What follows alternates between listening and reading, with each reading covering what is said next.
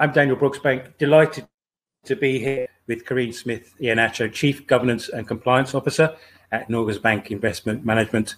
Hi, Carine. Great to speak with you. Hi, Daniel. Great to speak with you too. Thank you so much for being with us. And my first question is around active ownership and stewardship. In your view, is it possible to quantify stewardship and active ownership and its impact on returns? We are an active owner and we truly believe that our active ownership activities support the objective of the fund, which, which is to achieve the highest possible return at moderate risk. And many funds have a single mission to create return like us. So yes, I do think it's the right way to think about it. But we are a long-term fund for the benefit of future generations, and long-term return is clearly dependent on sustainable growth, well-functioning markets, and good corporate governance. And that is at the heart of our stewardship activities. We use our voting rights to safeguard the fund's long-term value, and we raise ESG issues in our company dialogues that are relevant to the fund's long-term return but having said that, it is of course challenging to quantify active ownership and its impact on returns. Maybe we'll get better methods in the future as company reporting improves and we have better data and technology. But in the meantime, lack of direct measures should not stop good and important stewardship work. The fund, as I understand it, owns over 9,000 companies or stakes in over 9,000 companies, has many thousands of meetings with companies every year. And I have a very simple question. What is the point of all those meetings and how do you tie them into investment performance? Yes, as one of the largest shareholders in the world, we have very good access to company boards. And using this access and meeting companies is an essential part of our investment process. And, and we use these meetings to deepen our understanding of companies and to develop long-term relationships with company management but we also use them to discuss and convey our expectations on key sustainability and governance issues. And we share information internally from these meetings and make sure that it is considered in investment decisions. As a result of this integrated approach, company meetings are very often held by portfolio managers together with our governance and sustainability specialists and our portfolio managers actually attended 96% of our governance meetings in 2020. I'm interested in the benefits and limitations of engagement. Would you agree that divestment can be a somewhat a blunt instrument? Engagement is one of the most effective tools we have as an owner. It allows us to convey our views, as I said, and influence companies. But it also allows us to learn from our investee companies. Information flows both ways. As an example, in our engagement on climate change, we gain insight into companies' preparedness to manage the climate-related risks and opportunities required in the low-carbon transitions. But there are limits to engagements. Some companies expose the funds to risk we deem unacceptable. And as you may know, the Norwegian Minister of Finance has issued ethically motivated guidelines for the exclusion of companies. The fund should not be invested in companies that produce certain products or whose conduct contributes to violations of fundamental ethical norms. And in addition to the exclusions, uh, we divest from companies that impose substantial costs on other companies and on society as a whole, or whose business model will probably not be sustainable in the longer term.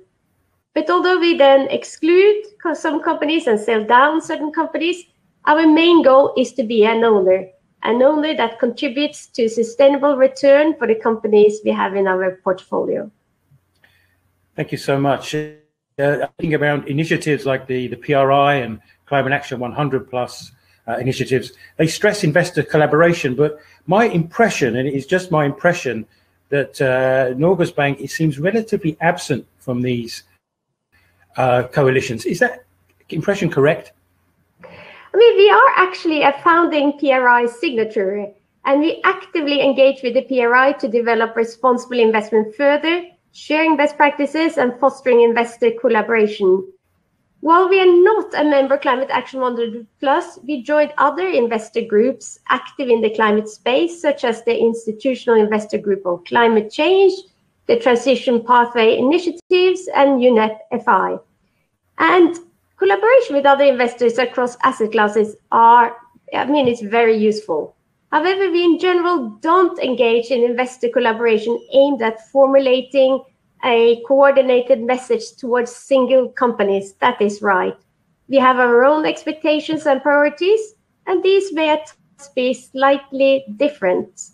But having said that, we follow all investor initiatives closely and often align our messages with them. And, and we are actually very impressed with the work done by Climate Action 100 Plus. There's a lot of talk at the moment around stakeholder capitalism. Um, what does this mean for investors? So given our long investment horizon, we want boards to understand the broader environmental and social consequences of company operations and consider the interest of relevant stakeholders. But I actually believe this debate around stakeholder capitalism may present a somewhat misleading conflict with shareholders on one side and stakeholders on the other side.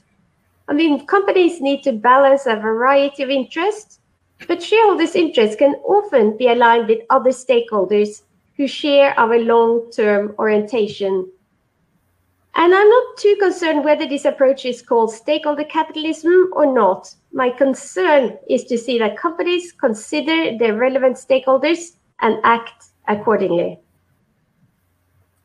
The other big topic, really, at the moment is uh, net zero. A lot of announcements from pension funds recently aiming for net zero.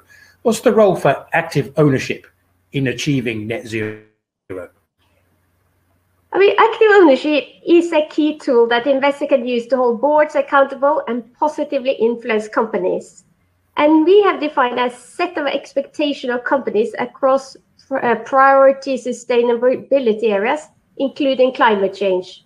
For example, we expect companies to describe how their long-term business strategy and climate targets consider the goals of the Paris Agreement. And as part of our company engagement, we ask companies how they are preparing for a low carbon transition. We ask those companies that have not set ambitious climate targets to do so and to publish a climate plan outlining how they will reach the targets. And another way we can encourage companies to take action is through our voting at companies' AGMs. For example, by supporting proposals that are in line with our voting guidelines on climate change expectations. So the bottom line is that we have a long-term investment horizon and an interest in supporting companies through the climate transitions. And I believe active ownership from us and others has an important role to play in this. Final question. You mentioned the, the long term. Um, how do you identify and then allocate to long-term opportunities? I mean, that is a very good and relevant question. I mean, we are here to invest the savings for future generation, and our time horizon alone require us to consider long-term opportunities and risk. And, and we believe that environmental and social externalities that play out over longer time periods are often not sufficiently priced by the market. So, so an area where we see long-term investment opportunities are companies that enable more environmentally friendly activity and the transition to a low-carbon economy. And we have a dedicated environmental mandate. And actually, at the end of last year, we had 100 billion Norwegian kroner invested in shares in 90 companies under this mandate. And we're actually very pleased to see that the return of this mandate last year was 34.3%. Carine, thank you so much for your time today. I really appreciate it.